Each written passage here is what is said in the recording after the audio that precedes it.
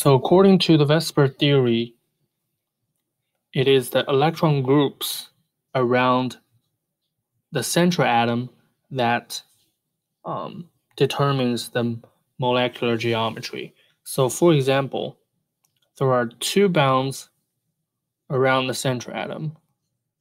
So this structure is a trigonal planar. If one of them is not occupied, means a lone pair, and two of them is occupied. So there are still three electron groups around uh, central atom A. So the electronic geometry or the electron geometry is still trigonal planar, but the molecular geometry we only consider this part, and it's a bent.